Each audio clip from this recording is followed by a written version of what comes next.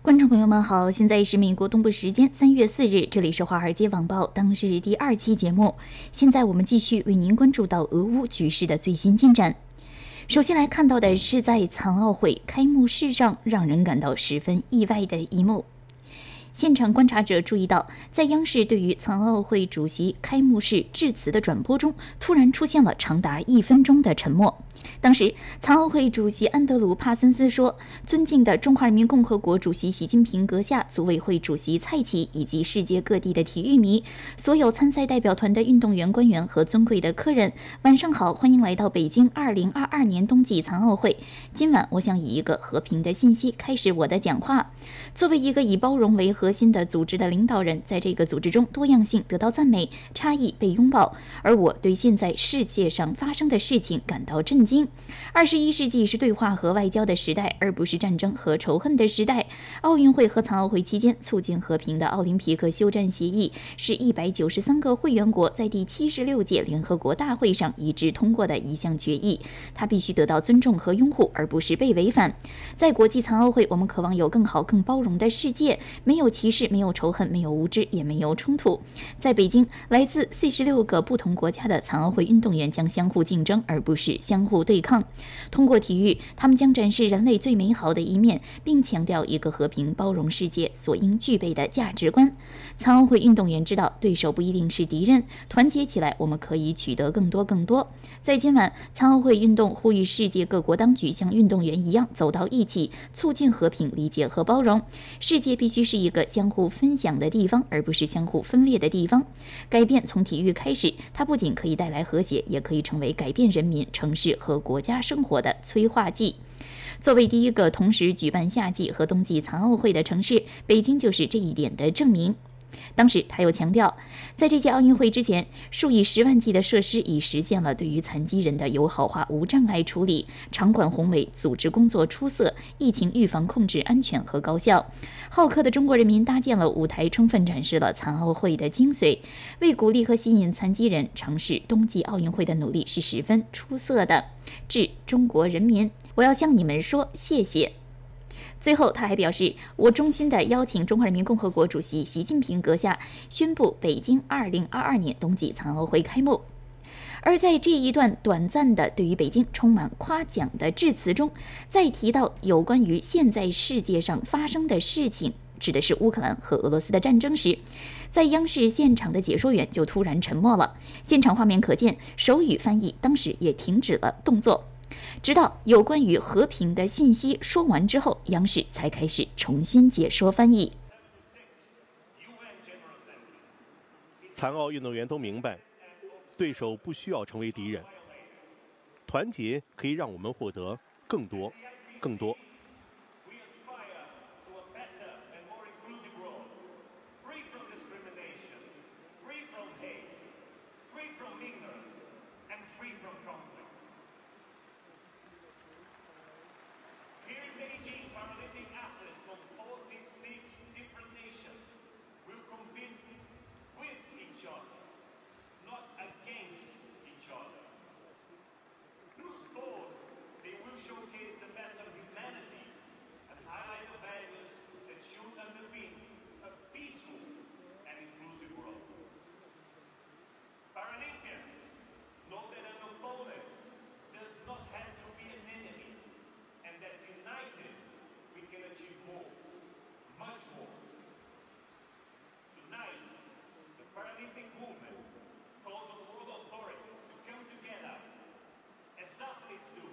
帕森斯接着说：“在今天晚上，在这里，国际残奥运动呼吁全世界像运动员们一样团结起来。”再为您关注到的是俄乌战争相关的其他消息。首先来看到来自路透社的报道。据消息人士和路透社看到的文件显示，中国要求大型国有保险公司对其在俄罗斯和乌克兰的风险敞口进行紧急审查。消息人士表示，举措是由许多国家对俄罗斯实施全面制裁所引起的。至少有两家大型国有保险公司被监管要求对其业务和投资组合的俄罗斯和乌克兰敞口进行内部核查。路透社文章分析，事态发展。展凸显出，即使中国在西方严厉制裁俄罗斯之下，继续寻求与俄罗斯保持强有力的贸易关系，但是中国也在幕后努力把自身机构的风险降至最低。目前还不知内部核查之后将有什么具体行动。消息人士表示，有保险监管机构本周已收到了上级紧急要求，要求检查公司在俄罗斯和乌克兰两国的铺险，在周五前就要提交报告。公司被要求报告其在白俄罗斯和俄罗斯的业务和投资，评估制裁的影响，还要提交应对局势发展的紧急计划。同时，根据来自路透社的报道，在本周乌克兰遭到急速炸弹和大炮袭击的相关画面，促使世界战争罪检察官启动了调查。去年被任命为国际刑事法院首席检察官的英国大律师卡利姆汉表示，乌克兰的危机是展示犯有战争罪的人将被追究责任的机会。他表示，全世界都在关注。此前，他已宣布向地区派遣由调查员和律师组成的先遣队。他说，任何一方如果以平民或民用物地为目标，都是在犯罪。根据联合国方面公布的数据，从二月二十四日俄罗斯坦克开进乌克兰以来，至少已有二百四十九位平民被杀。这是二次世界大战以来对一个欧洲国家最大的军事袭击。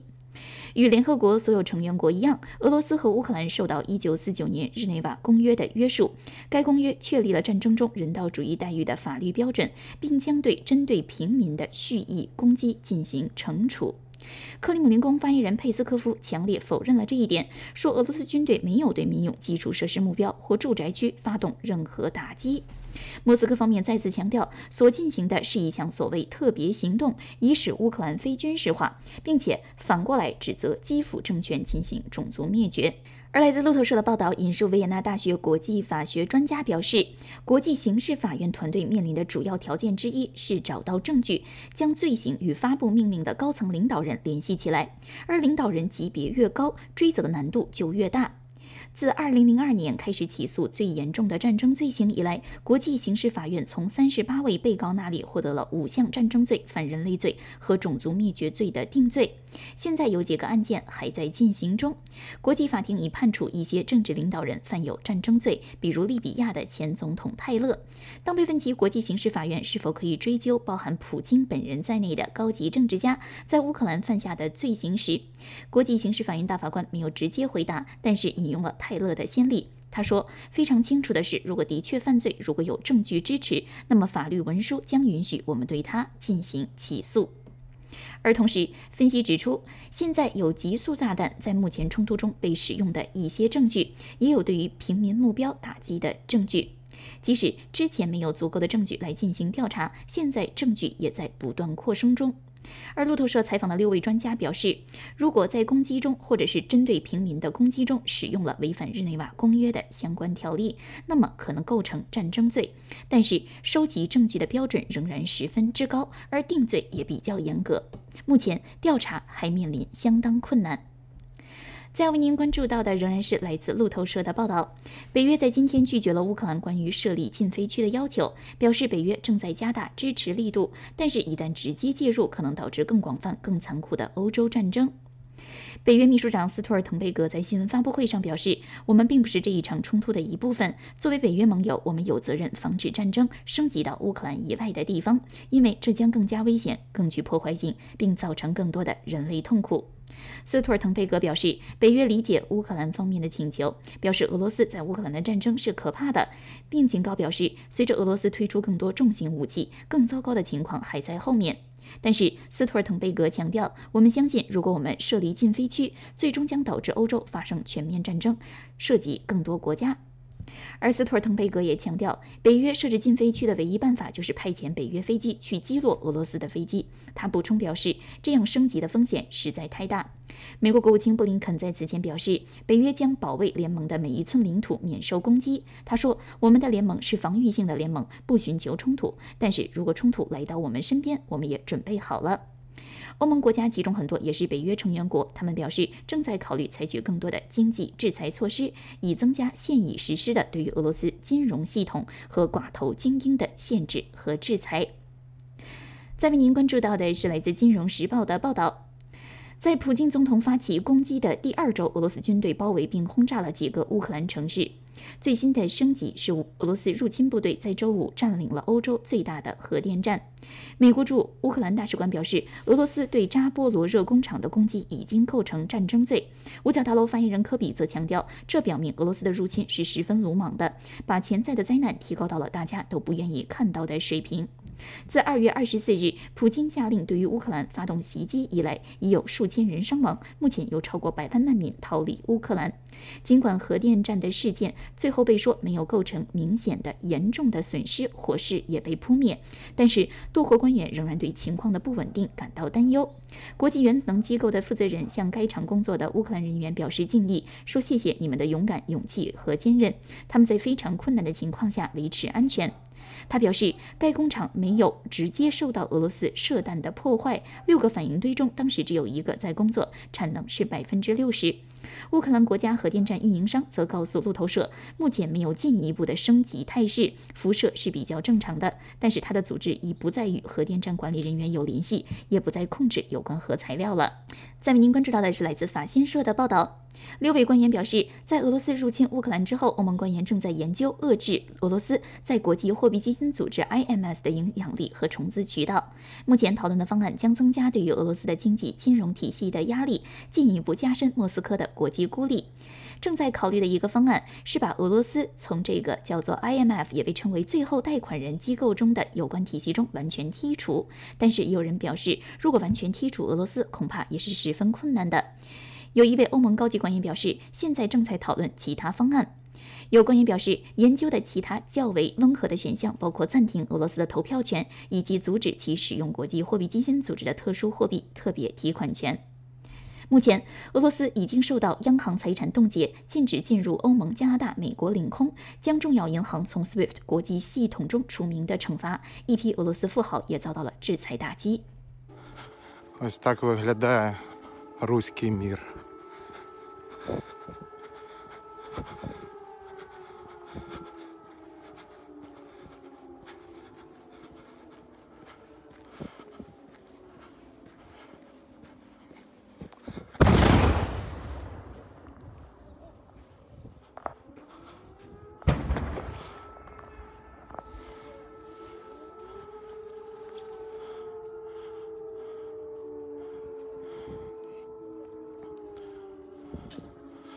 Танк.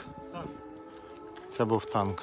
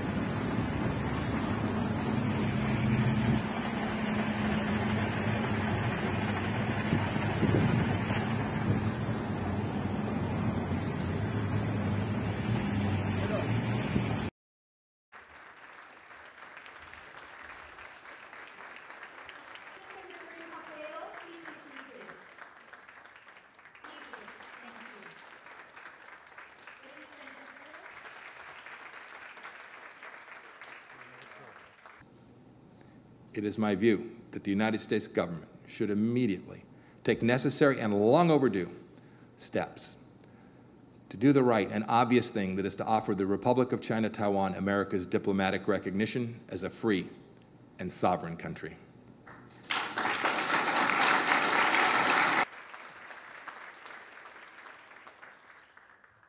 It's the fact, it's the reality is that many of your past and present leaders have made clear there is no need for Taiwan to declare independence because it's already an independent nation.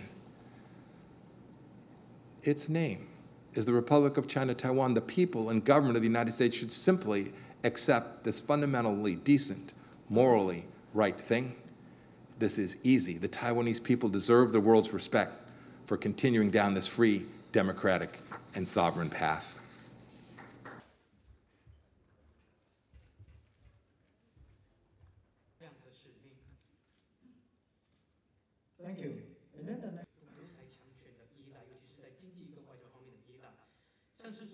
Uh, authoritarian regimes with great power uh, who desire to use aggressive military force to bully around smaller nations. Uh, the, the, world is replete with examples of this. We're seeing one take place in Ukraine today. It's, it's absolutely tragic.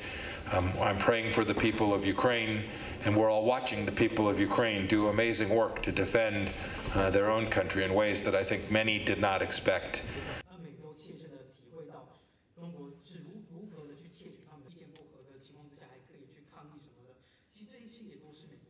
Xi Jinping's intentions are deep, uh, and his agenda is global and hegemonic. There, there's no doubt about that. Uh, but uh, Taiwan presents uh, a democracy that has great friends around the world and great friends in the region. And I am, I am convinced that there are a number of ways in which Xi Jinping is watching what's happening to Vladimir Putin, to the Russian military inside of Ukraine today that must be giving him great pause for having for having met with Vladimir Putin just, uh, just several weeks ago and said that their relationship was unlimited.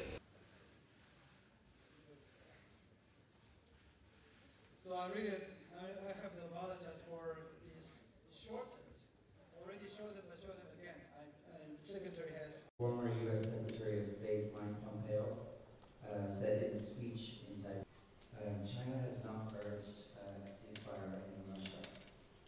中方高度重视核安全问题，对乌克兰境内核设施安全安保形势严重关切。根据国际原子能机构从乌克兰核监管当局获取的信息，乌克兰相关核电站主要设备没有发现损坏，辐射本底没有变化。我们将继续密切关注形势发展，呼吁有关各方保持冷静、克制，防止局势进一步升级，确保有关核设施的安全。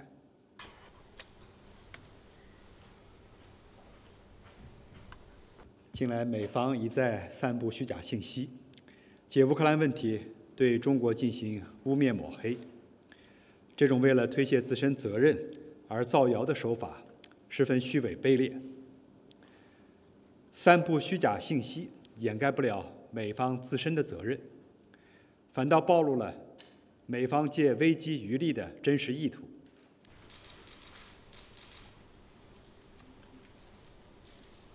我们注意到有关的报道，中方高度重视，正在向各方核实相关的情况。